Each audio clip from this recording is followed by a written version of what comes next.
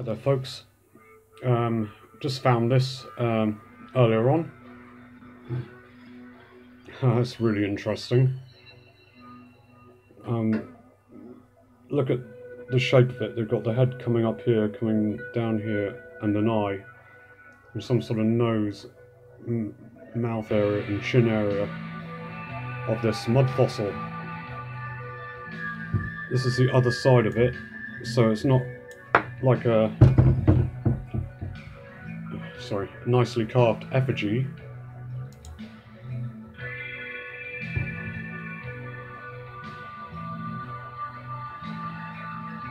It's a mud fossil of some kind of being that perhaps existed prior to the Great Flood. As you can see, the eye, brow ridge coming down to nose, and there's the mouth and the chin area. This is a very, very unique and strange looking thing.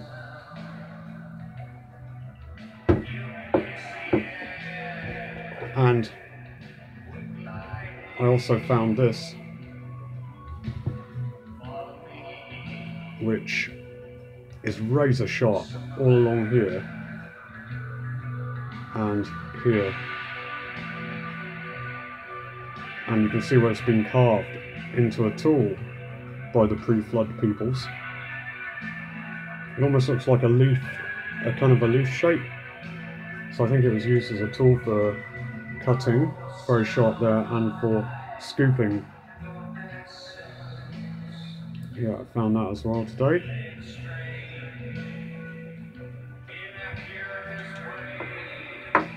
But the main reason I'm making this video is um, because a little while ago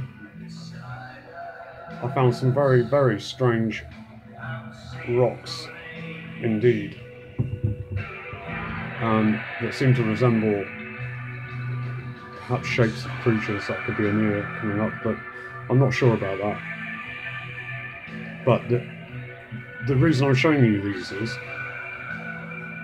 because although these are rocks, you can see all these strange markings like hexagonal shapes in them. But the most interesting thing is this crystalline structure here in between the rocks. That is a glass. It's like glass, a crystal kind of glass intersecting between the rocks. There's more of it here, that you can see it here. That's all crystal. It's like glass. There's some more of it here. That's all glass. And I do have some, I've got a really good piece It's like the shape of a crow, but I can't find it.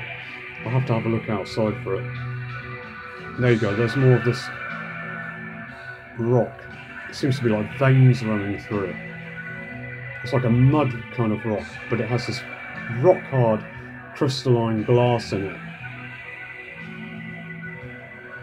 There's it running through like seams.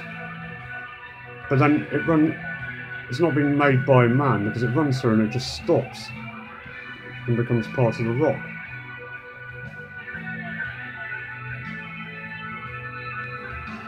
There we go, there, there it is, the hard glass. And this is rock, like a mud rock.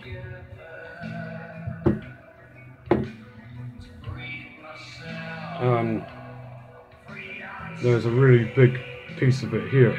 Now, interesting thing is, right, I found these at low tide. I had to wear a pair of wider boots to get these right out near the middle of the river at low tide, and my feet were just sinking into the mud. I thought I was going to go in like quicksand because I saw a clump, a pile of these, and I had to get them being a rock collector. So I kind of waded through the mud. And there they were, about 10 pieces altogether. I've got some more somewhere, like I said, I've got a crow-shaped one. So went back and forth carrying these back. Now, this here is like a mud rock, but this is crystalline glass. That is not rock, it's glass. And there, there, there's the outline of the glass. That's rock. And there's the outline of the glass structure here, like crystal.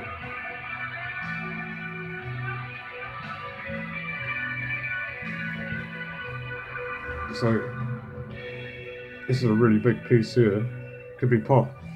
I'm wondering if they're body parts of creatures prior to the flood that got fossilized. They might be chunks of muscle, for all that I know. Uh, I think Roger Spurr at Mud Fossils would be the best man to look at these. And if you're watching this, Roger, maybe you can uh, explain what they are. I mean, look at this piece here. This is all like mud rock, soft mud rock, and then intersected with this crystalline structure all the way through. Interesting shape that one. It's almost split in two, but this solid glass crystal structure there.